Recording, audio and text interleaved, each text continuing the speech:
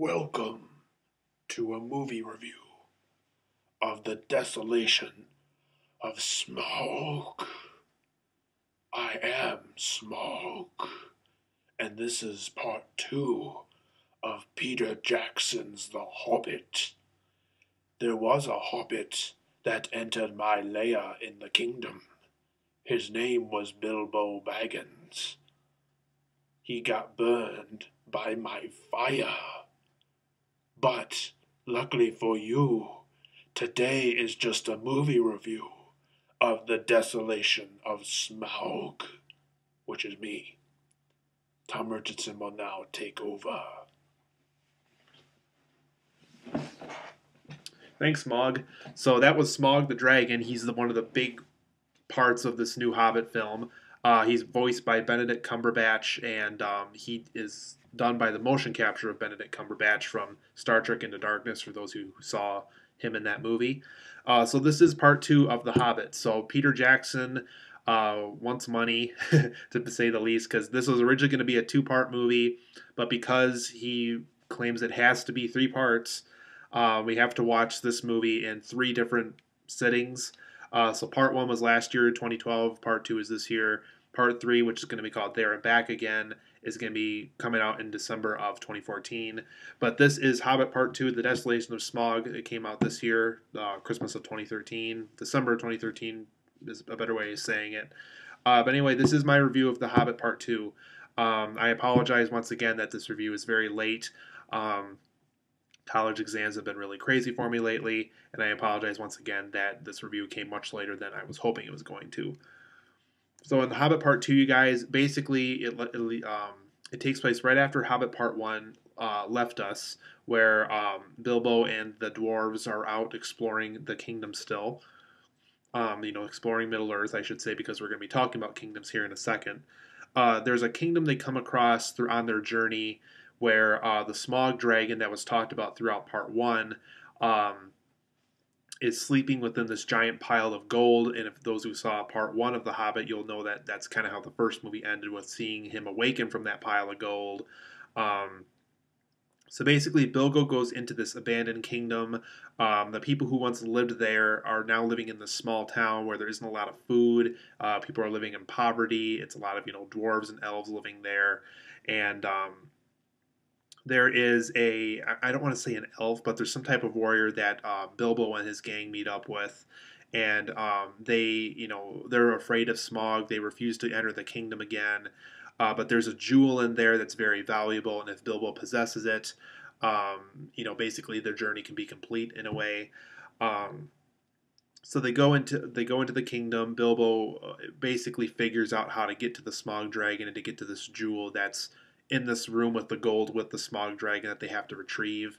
Um, but things go not quite the way they expect it to be, and um, you know it's not quite the desolation of smog in a way. You know it might be called the desolation of Smaug with the, the place that they're in, but there's um, a little bit more magic to what Peter Jackson intended with this title that happens throughout the movie. So basically, Bilbo and the gang. Um, this is their second part of the journey where they it's more so about the Smaug dragon, just like how part one was, you know, beginning the adventure and you know uh, Bilbo getting the ring from Smeagol and that kind of thing. So part two is mostly about the Smaug dragon scenes from the book, since it is a pretty short book from what I heard.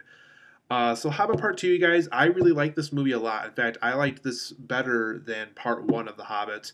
Um, I still don't think it's quite up there with Two Towers and Return of the King as far as the Lord of the Rings franchise goes. Those are still my two favorite Lord of the Ring movies. Um, but Hobbit Part 2 is pretty high up there, as it's probably my third favorite uh, Lord of the Rings film. I do like this better than Fellowship of the Ring, and I do like this better than Part 1 of The Hobbit. Um, so let's get into the positives and negatives. For the neg- for the positives, um, I think this is a much better um, this this is a much better film as far as action and pacing goes. I think just the, the, overall pacing of the story is just so much better than part one because part one took forever to make its point with certain things. Um, you know, the adventure took a long time to get up and going. Uh, but in this movie, they definitely have a much better sense of pacing. Uh, like I was saying before, the action scenes are much, much better in this movie. Um, there's a barrel scene and the scenes dealing with the Smaug dragon, specifically Bilbo escaping the, the Smaug dragon. Uh, but I really like this barrel scene that's in this movie. So, like I said, the barrel scene and uh, scene involving the Smaug dragon are worth the price of admission alone. I mean, there's some really, really well done action and CGI in this movie. But yeah, there's this really awesome barrel scene in this movie. That's it truly is worth the price of admission just because it's so amazingly well filmed. Uh, you can definitely tell Peter Jackson is on board, is in this production specifically with that scene alone. Uh, it's just there's some really neat scenes that happen in this movie. Um, some people complained about this, but I actually kind of like this part of the movie. I like that they incorporated Legolas into the story. I know Legolas, I don't even think he was in the Hobbit book from what I heard. Um, like I said, I, I've only read the Lord of the Rings books, but I never read the Hobbit books. I really can't tell you how much as far as uh, depicting how well the Hobbit book gets incorporated into this movie goes. Uh, but either way, Legolas, it was fun seeing him again in the Lord of the Rings movie. Um, I think he really added a lot more fun to the movie just because we're so familiar with him from the three Lord of the Rings films, and seeing him back in the adventure again, which basically takes place before those Lord of the Rings films, uh, it was just a lot of fun. I think he added a much more, almost more excitement to the story in a way. So I'm glad they they managed to incorporate him into the story. Uh, everything is starting to come into place. Um, everything that, that, you know about Lord of the Rings is officially getting set up. Um, we actually get to know um, someone that's significant to Gimli. I don't want to give it away, but there is someone that you know we, we know from part one of The Hobbit that is much more significant to the Gimli character than we originally thought in part one.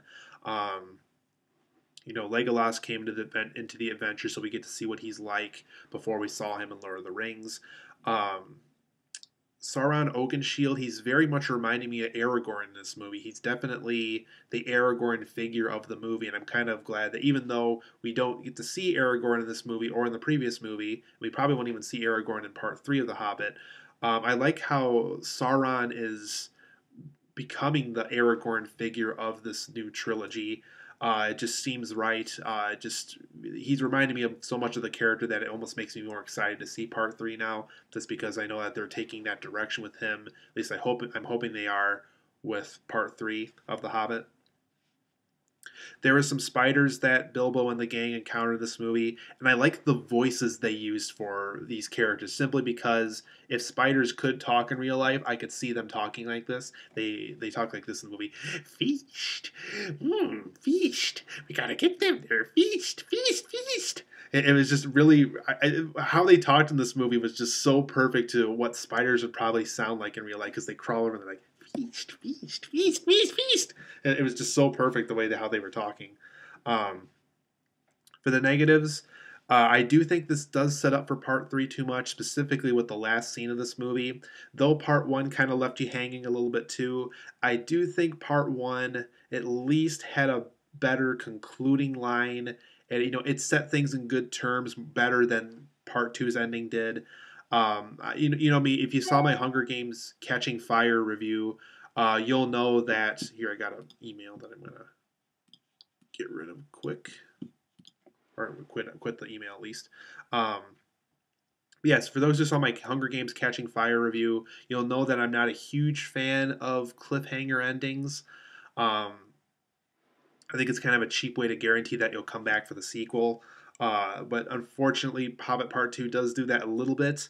But there's so many great things that happen before that last scene that you almost kind of forgive it because of that. Um, some scenes do go on longer than they should. Um, I think that's once again Peter Jackson just stretching the material so it can fit three movies. Uh, and it definitely shows in some scenes in here. Uh, there's just some scenes that's just like, oh, this could be trimmed down a lot more than it is. Um, there is a lot of scenes in this movie that definitely feel like they belong in like a director's cut or an extended cut version of this movie. Uh, but once again, I think it's just Peter Jackson stretching the material so it could fit three movies, thus making getting him more money for this franchise. Um, you can definitely feel the film's length with this movie. That's another complaint that I have.